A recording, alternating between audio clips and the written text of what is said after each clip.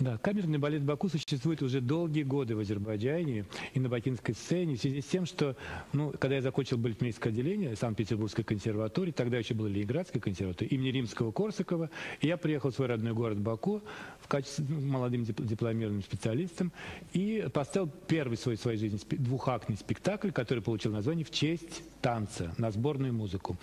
Так родился в Баку молодой коллектив, который так и был получил такое название «Молодой балет Баку». И там был рожден новый балет на музыку Арифа Меликова «Помните», где танцевали Медина Алиева, Александр Мишин, Ирина Игорь Ирматовы, Манаенковы, брат и сестра, которые сейчас танцуют в Греции, в Израиле, в Канаде, в России и так далее. Да, зрители привыкли, как правило, к академическому театру, где идут большие многоактные балеты с большим количеством исполнителей, массом действующих лиц, перипетий, сюжет и так далее.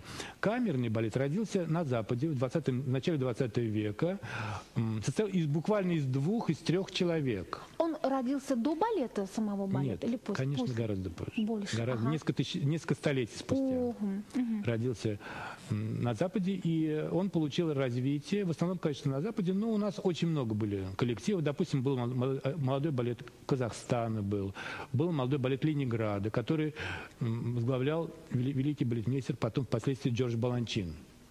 Ну вот, например, по примеру вот этих коллективов мы тоже организовали в Баку камерный балет Баку, в котором занято считанное количество исполнителей, буквально от 5 до 10, ну, может, иногда и больше бывает, в зависимости от нашего сценария. Это, это сопоставимо с симфоническим оркестром, угу. где тоже примерно может быть 200 человек исполнителей, музыкантов в оркестре, а вот в камерной музыке может быть даже и 3 человека, и 2 человека. Поэтому по аналогии с камерной музыкой существует такое понятие, как камерный балет.